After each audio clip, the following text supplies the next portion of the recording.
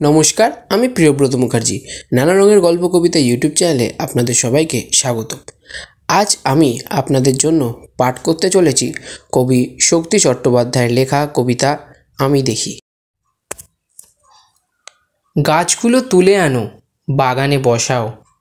আমার দরকার শুধু সবুজ দেখা, গাছ দেখে যাওয়া। গাছের সবুজটুকু শরীরে দরকার আরোগ্যের জন্যে ওই সবুজের ভীষণ দরকার। বহুদিন জঙ্গলে কাটেনি দিন। বহুদিন জঙ্গলে যায়নি। বহুদিন শহরেই আছি। শহরের অসুখ হাঁ করে কেবল সবুজ খায়। সবুজের অনটন ঘটে, তাই বলি গাছ তুলে আনো, বাগানে বসাও। আমি দেখি চোখ তো সবুজ চায়, দেহ চায় সবুজ বাগান।